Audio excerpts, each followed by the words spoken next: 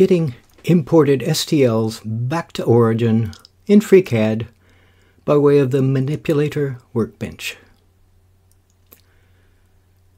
One of the recurring frictions in CAD workflows is the seemingly random placement of STL meshes and the tedious and inexact methods we use to transform them into a reasonable location within our CAD tool. Even the workflows of folk who are experts at FreeCAD are slowed down by this. Here's a typical just after import interface where the STL mesh is offset quite a few hundred millimeters from the CAD origin. If you right click on the mesh to attempt to transform it by the usual directional and rotational arrows, well, they're offset.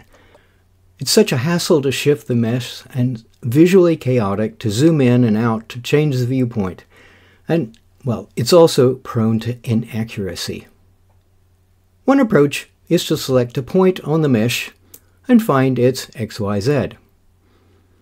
You could then go in and find the placement values for the mesh and shift it to the CAD origin or some other uh, desired location.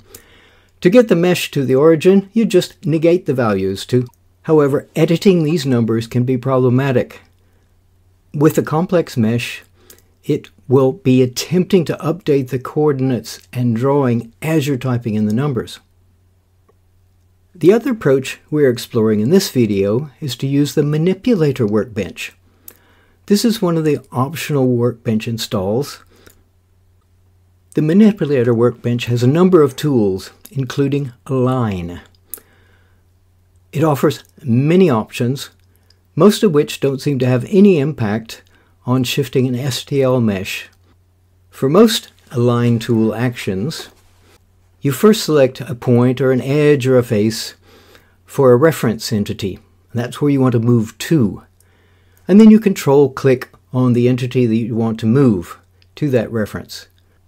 So there are lots of YouTube videos and there are lots and lots of different combinations. So I saw that. Great, just what I need. I installed the workbench, added a small cube at the origin, and then attempted to use the manipulation workbench. And, well, mostly nothing happened. And one time it actually did work. Brilliant! But I actually couldn't replicate it on another machine. Urgh. Long story short, lots of tries later, various computers, versions of FreeCAD, and navigations found, I found a combination that worked. Hence, this video to save you the frustration of working your way through all that matrix of combinations. So, if you have not already done so, install the Manipulator Workbench and restart FreeCAD. So, start a new document and use the file import. Before you can relocate an imported mesh, well, you've got to make it into something that's editable.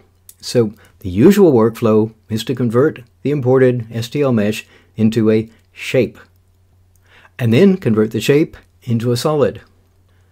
If it's a rather complex mesh, you might want to also make a refined copy of that solid to act on.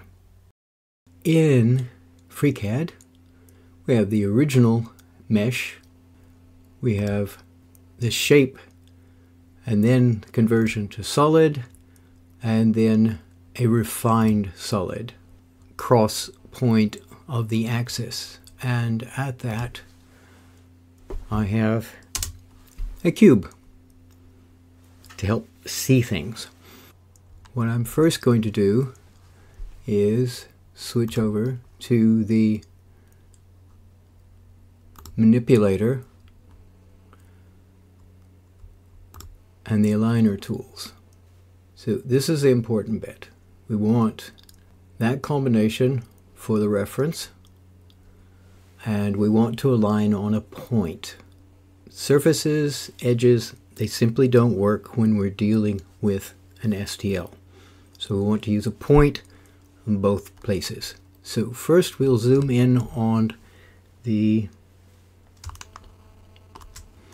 cube and we'll find that point.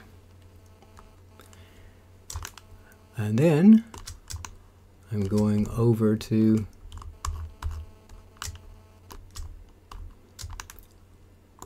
the STL. and I'm going to zoom in quite a bit here.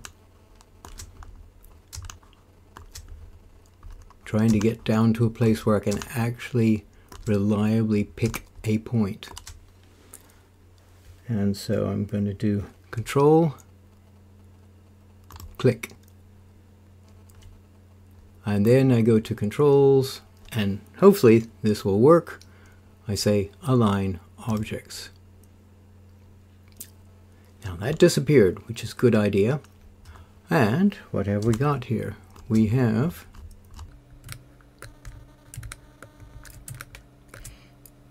So that point in there is matched with that. Um, so if I go back to part, to the model, what I have is placement is now set up to be basically at the origin.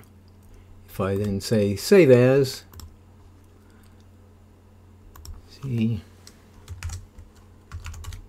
sorted, if you get it right, it's great.